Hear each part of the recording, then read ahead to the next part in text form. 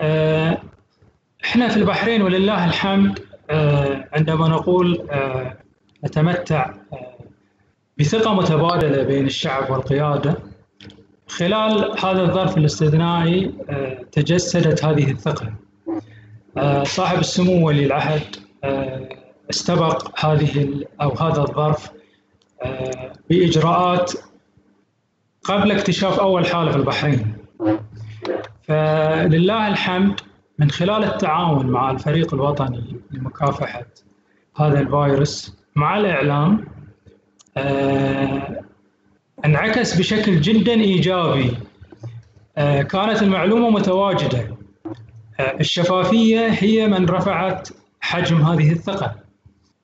كان المواطن والمقيم في البحرين على اطلاع تام وبشكل دائم عبر تصريحات مستمرة على مدار الساعة إذا تلاحظون إحنا عندنا بعض التصريحات اللي تخرج من الفريق الوطني حتى في أوقات متأخرة من الليل. آه هذه الهدف منها كان تعزيز ثقة المواطن والمقيم في آه الحصول على معلومة آه تطمئن حتى لو كانت هذه المعلومة آه آه سلبية.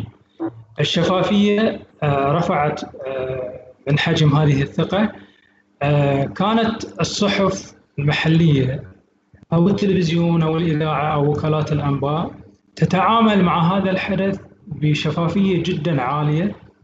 آه، تشكل الفريق هذا بدون توجيه آه، بدون تنسيق. كان هناك حرص كبير من جميع القطاعات على أن قيمة المعلومة راح يكون لها مردود إيجابي.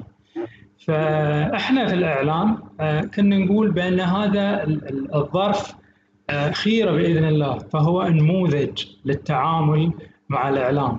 كان هناك تعامل كبير الفريق الوطني كان يتحدث للإعلام بشكل دائم من خلال مؤتمرات صحفية ومن خلال آه، تصريحات دائمة ومن خلال صور كلها تجسدت بشكل الحقيقة مشرف. وهذا النموذج يجب أن نحتذى به في اي في في سواء كنا في في ظرف أو استثنائي أو في في آه، أي إشكالية أو حتى قضايا الرأي العام. آه، التعاون مع الإعلام يمتص بكثير من من ردود الفعل اللي قد تكون غير صحيحة.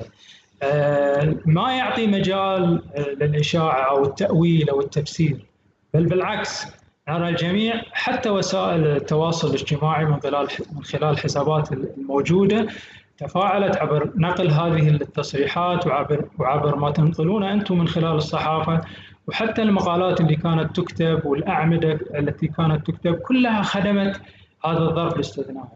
فالإعلام كان له دور كبير أنتم كان لكم دور كبير وهذا الدور آه، ما راح يكون لولا تعاون الجهات المختصة مع الإعلام وثقتها في الإعلام عبر إخراج هذه المعلومات.